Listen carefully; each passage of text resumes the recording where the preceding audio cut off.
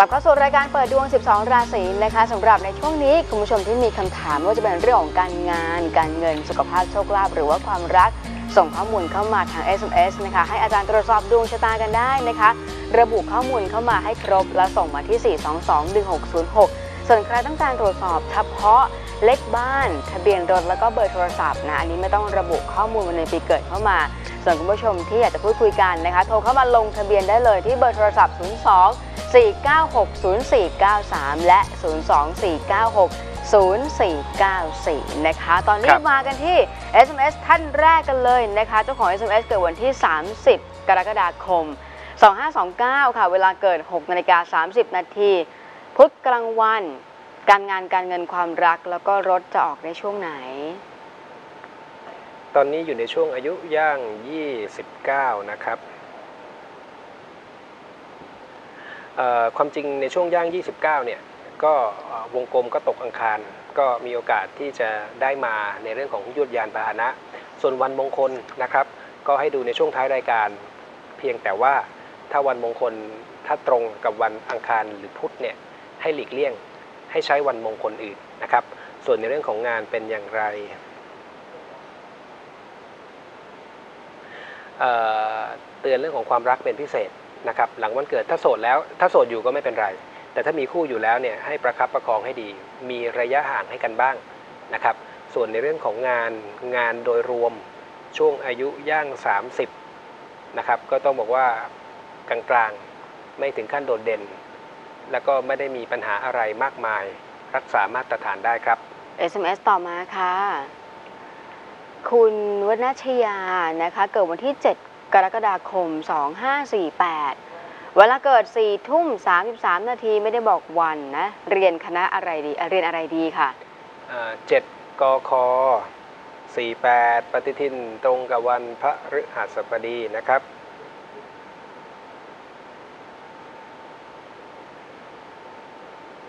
นี่เลยให้เรียนช่วงเบรกแรกที่เราคุยกัน ดาวจันทร์สวยก็ในเรื่องของพยาบาลวิชาชีพดีนะครับหรือลักษณะงานที่ต้องใช้ service ก็อาจอย่างพวก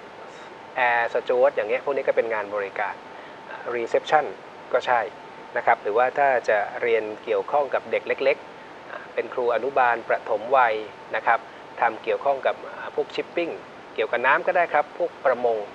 ทหารเรือตำรวจน้ำ อันนี้คือสาขาอาชีพที่เด่นในพื้นชะตา รองลงมาครับ ก็แพทย์เภสัชกร ท่านนิติศาสตร์ เน้นผู้พิพากษา นิติกรที่ปรึกษารวมถึงการทำงานในแวดวงสถาบันการเงินจ้ะ SMS ต่อมาค่ะ SMS ต่อมานะคุณเมย์ค่ะ 31 มกราคม 2527 เวลาเกิด 18นาฬิกา2นาทีวันอังคาร เปิดร้านทำเล็บที่บ้านเป็นหมู่บ้านได้ไหมคะ ต้องดูก่อนว่าอาชีพนี้เด่นหรือเปล่านะครับ ความจริงถ้าทำเกี่ยวข้องกับเรื่องของความสวยงามก็พอพอได้นะเพียงแต่ว่าต้องขวนขวายต้องต้องหมั่นพัฒนาตัวเอง อาจจะตามเทรนด์แฟชั่นนะครับ ลดต้นทุน หาแหล่งทำเลที่เหมาะสม ของคุณเนี่ยผมไม่ได้อยากให้คุณยึดติด ว่าจะต้องเปิดที่บ้านแต่เพียงอย่างเดียวนะ ลองดูทำเลทางวิทยาศาสตร์ที่มันน่าสนใจนะแต่อย่างที่ผมเรียนอาชีพนี้เหนื่อยหน่อย ต้องขวนขวายไม่มีฟลุกครับ SMS ต่อมาค่ะ จ้าของ SMS นะคะเกิดวันอังคารที่ 30 ธันวาคม 2540 เวลาเกิด 5 ทุ่ม 1 นาทีวันอังคารครับการเรียนค่ะถามว่าเรียนบัญชี หรือว่าเรียนเภสัชดีนะคะ ตอนนี้เรียนสายวิทย์คณิตอยู่ บัญชีถ้าจบมาแล้วนะฮะเรียนออดิต ถ้าระดับสูงเลยก็คือเป็นเป็นผู้ตรวจสอบคนที่มีอำนาจในการเซ็นออโตไลซ์แต่ถ้าไม่ได้ถึงขนาดนั้นทำพวกออดิต หรือตรวจสอบบัญชีอ่า ในในบริษัทห้างร้านที่มีหลากหลายสาขา หรือเป็นบริษัทผู้สอบบัญชีอันเนี้ยได้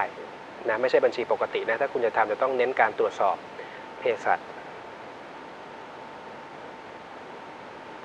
ถ้าเกี่ยวข้องกับเรื่องของการรักษานะครับแพทย์เภสัชพวกนี้ก็ได้เช่นเดียวกัน ลองดูว่าตัวเองถนัดอะไรนะครับ SMS ต่อมาค่ะ SMS ต่อมานะคะคุณ จ้าของ SMS นะเกิดวันที่ 1 กันยายน 2521 เวลาเกิดทุ่มครึ่งวันศุกร์อาชีพค้าขายอะไรดีที่สุดนะคะ เปิดร้านใหม่ เดือนมิถุนายนนี้ดีหรือเปล่า นี่ขนาดยังไม่รู้เลยนะเนี่ยว่าจะขายอะไร แต่ตั้งใจจะเปิดร้านแล้วเดี๋ยวนะครับ ของคุณเนี่ยดาวอาทิตย์กับดาวออังคาร อังคารสวย ผมจะไล่ไปเลยนะฮะพฤหัสก็ใช้ได้ลองดูว่าคุณถนัดอะไรนะฮะอังคารเนี่ยหมายถึงอะไรยานยนต์เครื่องจักรกลสารเคมีอาวุธของมีคมอย่างถูกต้องตามกฎหมาย ธุรกิจที่เกี่ยวข้องกับเรื่องของกีฬาร้านตัดผมชายก็ได้ ลองลงมาครับอ่าพฤหัสธุรกิจที่เกี่ยวข้องกับสุขภาพ นวดแผนไทย ขายสมุนไพร สถานพยาบาล เครื่องสังฆพันธ์และอีกกลุ่มนึงฮะอย่างที่ผมเรียนดาวอาทิตย์ปลูกเครื่องใช้ไฟฟ้า อุปกรณ์ไอทีคอมพิวเตอร์ครับนะลองดูว่าว่าเรารู้จริงในเรื่องไหนครับ SMS ต่อมาค่ะ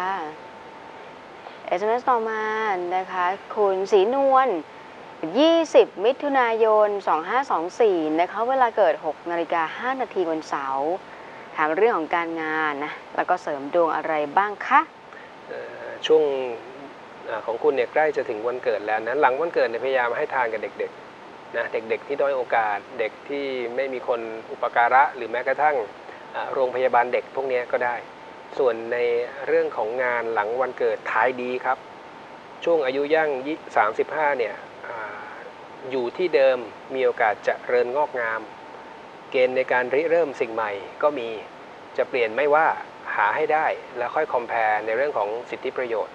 นะย่าง 29 ผมถือว่าเป็นปีที่ดีมากในเรื่องของงานครับ SMS ต่อมาค่ะ เลขทะเบียนรถ 5265 ค่ะ จันทร์พฤหัสหลักฐานความมั่นคง เป็นคนตรงและมีเสน่ห์เป็นดาวคู่ธาตุดิน ส่วน 65เนี่ยเป็นคู่ทรัพย์คู่โชคดีอยู่แล้วครับเบอร์โทรศัพท์ 472361 ถ้าคุณชอบชื่อเสียงเด่นดัง ประสบความสำเร็จในสิ่งที่ทำก็ให้ใช้ 47 และ 61 แต่ถ้าต้องการนิ่ง ๆ คมในฝักใช้เบอร์ที่ 2 ครับ SMS ต่อมาค่ะ SMS ต่อมาคุณเมย์นะคะ 11 กรกฎาคม 2542 เวลาเกิดบ่าย3โมง35 นาทีวันพฤหัสบดี การเรียนสุขภาพแล้วก็ความรัก ช่วงอายุย่าง 16อะตอนนี้ก็ยังบอกกันทันว่าควรจะเรียนอะไรนะครับ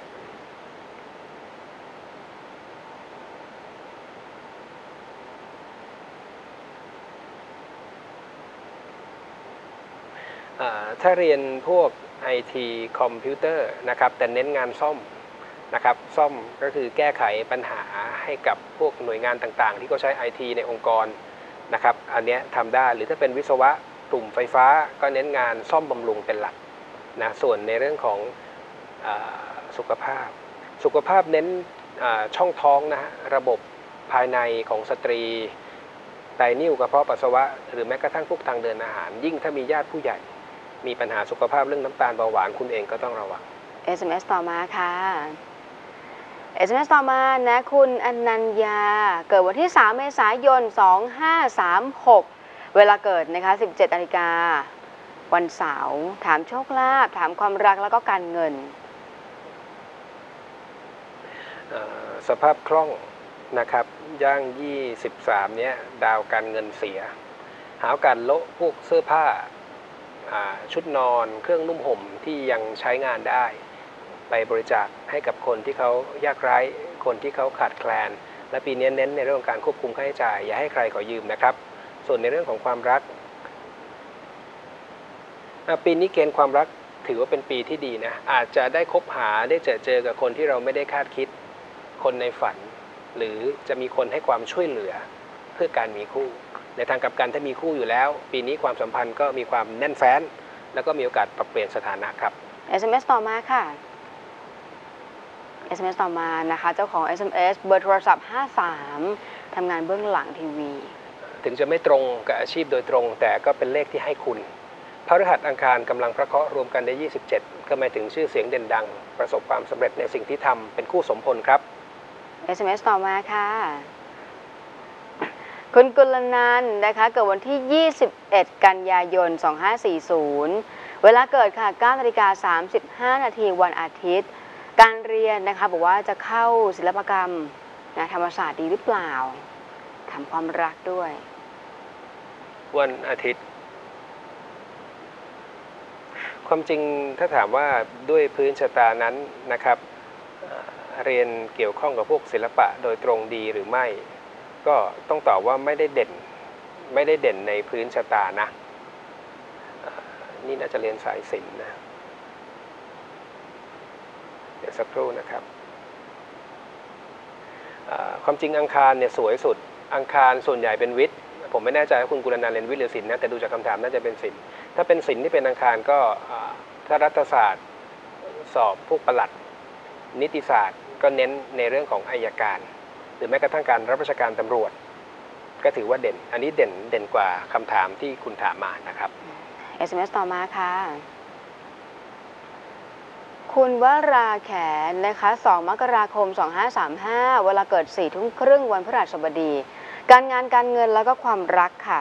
ปฏิทินตรงกับวันพระฤหัสบดีถูกต้อง เอ้วันนี้หลายท่านนะครับที่ถามคำถามเรื่องของความรักเข้ามาแล้วอยู่ในเกณฑ์ที่ใช้ได้ แต่ของคุณจะเป็นทรงแบบนี้นะครับคือถึงอย่างไรก็จะมีเรื่องของหัวใจมาเกี่ยวข้องอันนี้อันที่หนึ่งแต่ถ้ามีคู่อยู่แล้วเนี่ยความรักความสัมพันธ์มันจะเข้าทำนองเบื่อเบื่ออยากอยากรักรักเลิกเลิกนะฉะนั้นถ้ามีคู่ประคับประคองให้ดี และการทำบุญเสริมในช่วงปีนี้นะครับเน้นการทำบุญน้ำมันตะเกียงนะแล้วก็ช่วงเทศกาลเข้าพรรษาที่ใกล้จะมาถึงเนี่ยอย่าลืมไปถวายหลอดไฟหรือว่าเทียนพรรษาที่วัด SMS ต่อมาค่ะ คุณกัญญพัฒน์นะคะ 21 กรกฎาคม 2512 เวลาเกิดบ่ายโมง 35 นาที วันจันทร์ อาชีพค่ะทำอะไรดี พุทธสวยที่สุดนะครับ ถ้าในแง่ของไม่ต้องลงทุนก็พวกงานขายตรง อันนี้ก็ใช้คำว่านักธุรกิจนะก็เป็นเจ้านายตัวเอง มีแชร์ริ่งมีมีส่วนแบ่งที่ชัดเจน อันนี้คือลักษณะงานขาย แต่ถ้าเกิดอยากจะลงทุนทำธุรกิจก็เป็นพวกสถาบันติวเตอร์กวดวิชานะครับธุรกิจในเรื่องของการกินส่วนต่างการเป็นคนกลางในหน้าก็ได้ ร้านหนังสือสื่อสิ่งพิมพ์ ศูนย์ถ่ายเอกสารเข้าเล่มทำรายงาน แม้กระทั่งธุรกิจพวกนักสืบเขียนป้ายบล็อกตายางอุปกรณ์สื่อสาร ลองถามตัวเองดูว่าถนัดในสิ่งเหล่านี้หรือไม่ครับ SMS ต่อมาค่ะ เจ้าของ SMS นะเลขเลขตึก 126ทำไมตกใจอย่างนั้นล่ะนะมีตึกด้วยแล้วก็มีน่าจะเป็นเลขห้องหรือเปล่าทับจ้ะ38ก็เลขตึกไม่ใช่ตัวเรานะก็เฉพาะเจาะจงก็คือ 38 นั่นแหละ คือห้องที่เราอยู่นะครับอ่าส่วนถ้าไม่ได้อยู่คนเดียวนะ หมายถึงว่าถ้ามีเพื่อนอยู่ด้วย หรือมีเมดอยู่ด้วยเนี่ยให้ระวังปัญหากระทบกระทั่งความขัดแย้ง โดยเฉพาะเรื่องของอารมณ์นะจะวูบวาบหน่อยวูบวาม ถ้าทางเจ้าของตึกเขาไม่ว่า ให้ใช้ทองคำเปลวแท้บริกรรมคาถาชินบัญชรและตั้งจิตอธิษฐานนะครับ ขออำนาจพระพุทธคุณ พระธรรมคุณ พระสังฆคุณ ปัดเป่าอิทธิพลของดาวที่ไม่ดีปิดไปที่ราหูนั่นแหละจ้ะส่วนทะเบียนรถนะ276 ค่ะ สุกร์กับเสาร์เป็นเส้นศัตรูทำอะไรจะติดขัด ถ้าหมายถึงความรักก็จะอยู่กันอย่างร้อนรุ่มผะอืดผะอม อันนี้ใช้น้ำพระพุทธมนต์แปะที่เลขเจ็ดเอาล่ะนะคะ มาในส่วนของสายกันบ้างดีกว่า สวัสดีค่ะส วัสดีค่ะ สวัสดีครับ ฮัลโหลสวัสดีค่ะฮัลโหลสวัสดีครับ จ้าสวัสดีชื่ออะไรครับ คะ ชื่อรังสรรค์ครับผม คุณรังสรรค์วันจากเดือนปีเกิดเวลาเกิดค่ะ เกิดวันที่ 29 มิถุนายน 2517 เวลาตี5 33 นาทีครับวันเสาร์ครับ ฟ้าสว่างคือวันเสาร์ใช่ไหมคะ ครับผมครับ อ่าแต่อ่า ของคุณนี่ถ้าบอกเวลาแบบนี้แสดงว่ามีใบเกิดชัดเจนถูกไหมฮะตีห้าครับผมมีครับอ่าโอเคฮะถ้าเลยตีห้าครึ่งไปแล้วก็ต้องถือว่าคุณคุณรังสรรค์เป็นคนวันอ่าวันเสาร์โดยสมบูรณ์แล้วจ้ะครับผมตอนนี้มีอาของคุณอยู่ในช่วงอายุย่าง 41 นะครับ ครับผมอาตอนนี้มีปัญหาติดขัดในเรื่องของเงินทองบ้างแล้วหรือยังครับ โอ้โหติดขัดมาสองจำปีแล้วครับ เออ แต่ตอนนี้หนักเลยอะ ผมใช้คำเนี้ยครับผมนะคถึรังบผมถึงขั้นมีภาระหนี้สินซะด้วยซ้ำไปนะครับ ใช่ใช่ครับ เอาอย่างนี้ฟังให้ดีที่เหนื่อยมานาน ที่ติดขัดมานานนะครับ พอเลยผ่านวันเกิดที่กำลังจะถึงเนี่ย คจะรับผมจะปรับตัวดีขึ้นนะ จะดีกว่าครับผม ช่วงนี้ คือมันก็ค่อยๆเฟดลงคือหมายถึงว่าเบาลงเป็นลำดับอะนะ แต่ว่ามันเป็นลักษณะครับผมต่อเนื่องถูกไหมเอ่อครับพ้นผมพ้นเข้าย่างสีบสองเนี่ยจะเปลี่ยนแปลงในทางที่ดีขึ้นเรื่องเงิน แต่ที่จะเตือนต่อครัจะบผมจะเปลี่ยนเป็นเรื่องอื่น คุณรังสรรค์มีคุณรังสรรค์มีครอบครัวไหมฮะขอโทษมีครับผมมีลูกสองคนครับอ่าก็ตัวนี้ก็ยังอยู่กับคู่ครองคนรักหรือเปล่าฮะครับอยู่ครับผมอ่าหลังวันเกิดดูแลสุขภาพของคนรักให้ดีนะครับ แล้วก็ให้ระวังครับ ปปัญหาความขัดแย้งกันด้วย นะก็คือครับผมมีอะไรพูดให้น้อยๆนะจ๊ะครับผมงานทำอะไรอยู่ครับ งานผมเพิ่งได้งานใหม่ครับ เป็นงานโรงงานกาแฟครับผมทำกาแฟซองนะครับแล้วตัวที่บุรีรัมย์นะครับตัวตัวคุณทำอะไรอะผมเป็นฝ่ายผลิตนะครับแพ็คกิ้งครับผม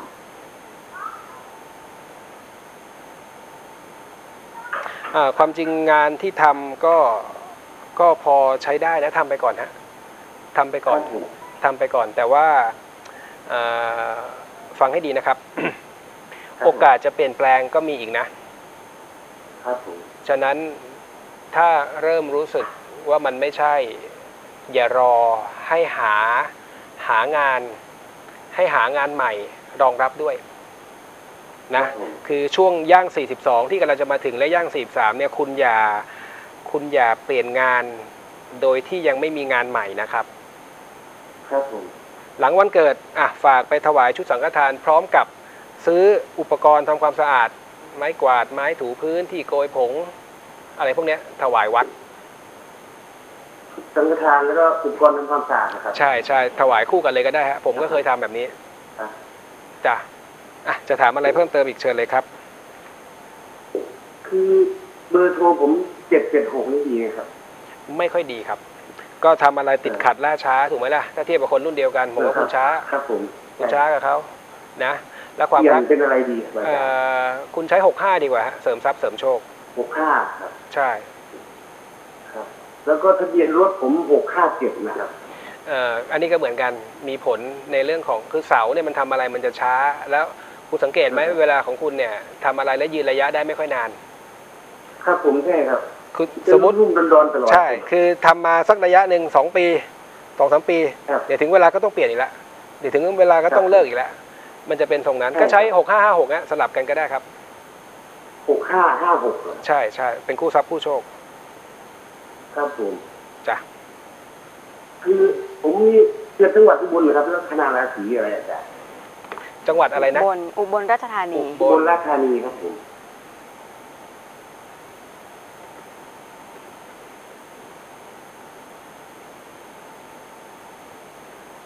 ลัคนาสถิตอยู่ในราศีเมถุน ครับผม ใช่ ลัคนาสถิตอยู่ในราศีเมถุน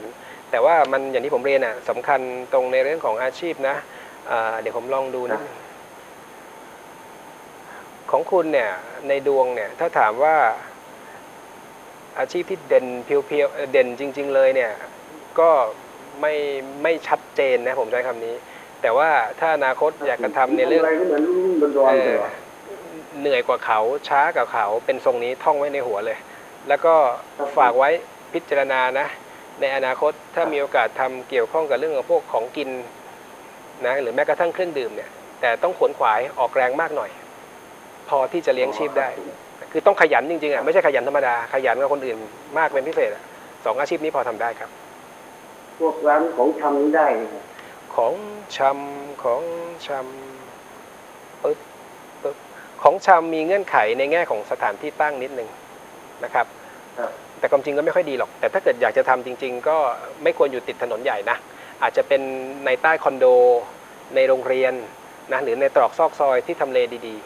ๆนะครับแล้วก็เน้นการปรับปรุงเปลี่ยนแปลงสินค้าภายในร้านบ่อยๆ แต่ที่พูดนี้ไม่ได้เด่นมากนะ แต่ถ้าอยากจะทำก็ต้องทำให้ได้ตามเงื่อนไขอย่างที่ผมบอก ครับผม อ้าวไม่เป็นไรตอนนี้เราว่ากันเรื่องของงานใหม่ก่อน แล้วก็การเงินจะค่อยๆ ปรับตัวดีขึ้นดวงไม่โกหกหรอกฮะคุณเพิ่งได้งานเดี๋ยวเงินมันก็จะดีขึ้คนรับผมเพิ่งได้งานเออแต่ว่าเพิ่งไปตรวจสุขภาพวันนี้ด้วยครับเออแต่อะดีใจด้วยนะ แต่ว่าเรื่องความรักเนี่ย หลังวันเกิดไปแล้วประคับประคองให้ดีครับผมขอบคุณครับๆอะโชคดีนะครับขอบคุณครับผมสวัสดีครับ เอาละนะคะมาในส่วนของ SMS กันต่อนะ คุณ คุณพลอยจันทร์ 20 มีนาคม 2529 นะคะ เวลาเกิด 10 นาฬิกา 40 นาทีวันพฤหัสบดี ถามเรื่องบุตรค่ะว่าจะมาเมื่อไหร่